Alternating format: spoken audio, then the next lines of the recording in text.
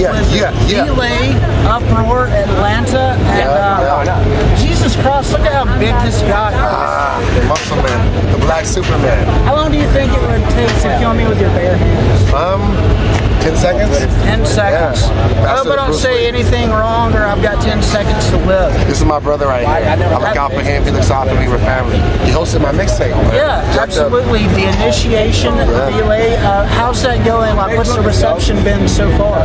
It's been good. Um, a lot of the kids online love it. A lot of my people down in San Diego downloaded it. It's, it's up to like 2,000 downloads on that page right now. It's like two months ago. Good because I'm brand new in the scene, you know, and it's it's good. I put my heart and soul in it for a year.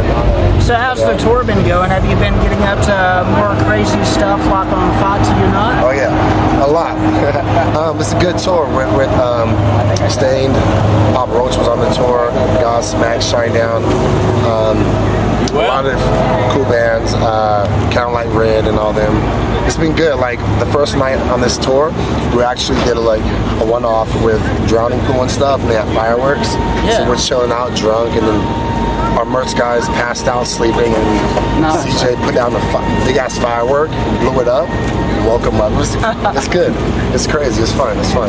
That's awesome. Uh, who, who's your favorite band on the tour? Yeah. Yeah. Staind. Sting? Yeah. Aaron Lewis? Aaron Lewis. All right, brother. Aaron Lewis. Thank you, bro. Aaron Lewis is fucking amazing. His voice is so.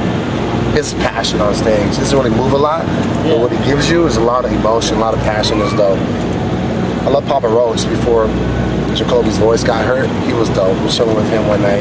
He's a Yeah. good person. He's dope. So, are you going to be doing anything on an actual track with Deuce sometime in the future? Yeah, yeah. Um, we're always writing, planning stuff. Um, foreseeable. It's very foreseeable.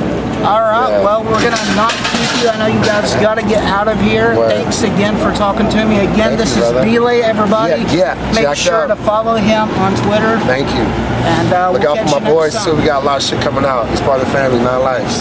Jacked Up. TV. Yeah.